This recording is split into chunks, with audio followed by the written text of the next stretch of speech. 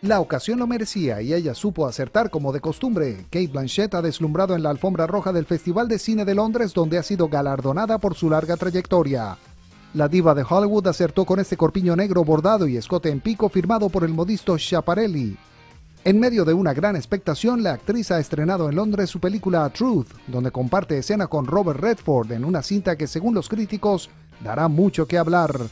Para la alfombra roja del festival, Blanchett se decantó por un diseño de Alexander McQueen, un vestido blanco con pedrería en los hombros y cuya espalda al aire se llevó todas las miradas.